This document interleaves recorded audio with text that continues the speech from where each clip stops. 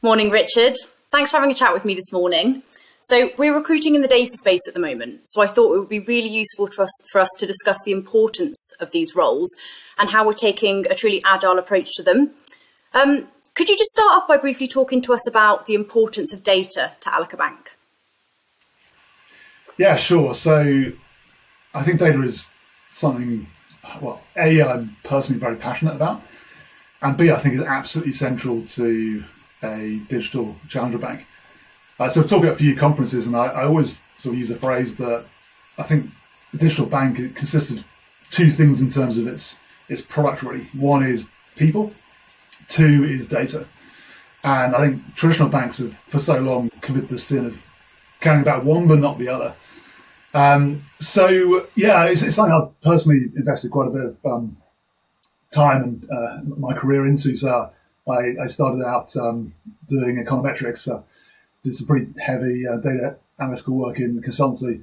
Then more recently, I've done um, some big data and machine learning qualifications in, in my own personal time. So I just think such such a core skill for the future that I want to ensure I'm at least uh, enthusiastic amateur, even if not a, a pure play professional.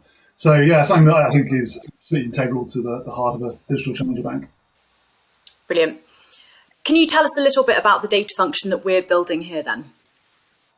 Yeah, sure. So I think we're really trying to, uh, I guess, move ourselves on to the next stage here as, as. So we're looking to have um, a data team that's got uh, relevant component parts. So data engineering team that's really looking after the, the, the foundational uh, platform um, and uh, sort of data warehouse capabilities. We've got uh, ETL capabilities and so on.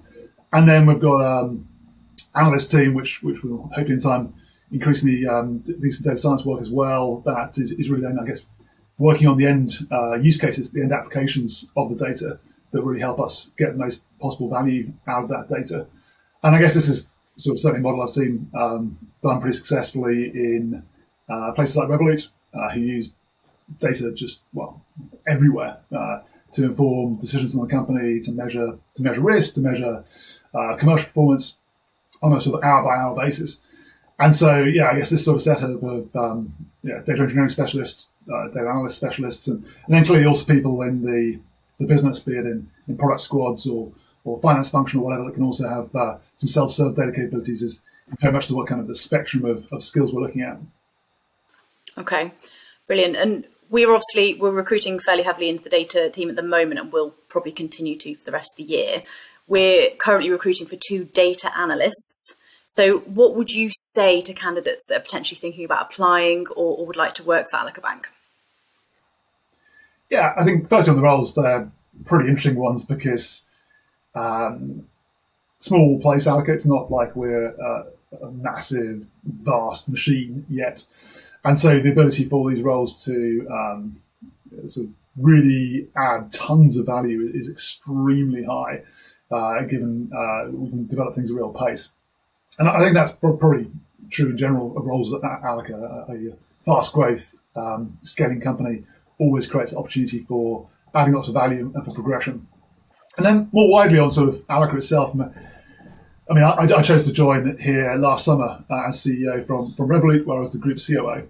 Uh, and uh, yeah, I think just what massively excited me was the fact that, firstly, I think we're solving really the last major unsolved problem in, in the UK banking market, which is around the sort of mid-sized SMEs, um, where I think it's still massively underserved, massively under, underprovided for digitally and lending-wise. And, secondly, um, we're the only bank that's really born post-COVID uh, so far. So the sort of opportunity to realise that without a sort of pre-COVID uh, inheritance, be that in terms of loan book that's got bad debts and forbearance, or be it in terms of um, previous practices, branches, whatever. Uh, I, think we've got a really clean uh, position to to attack uh, that sort of, um, I say, last major opportunity i say, in the, in the UK banking market. So uh, I just got really excited about those two things. So yeah, the chance to come join a rapidly scaling company, add lots of value, progress, uh, and solve some some really great problems at the heart of uh, the sort of post-COVID economic recovery uh, feels like a great one to me. Brilliant. That's lovely. Thank you. Thank you for your time. Great.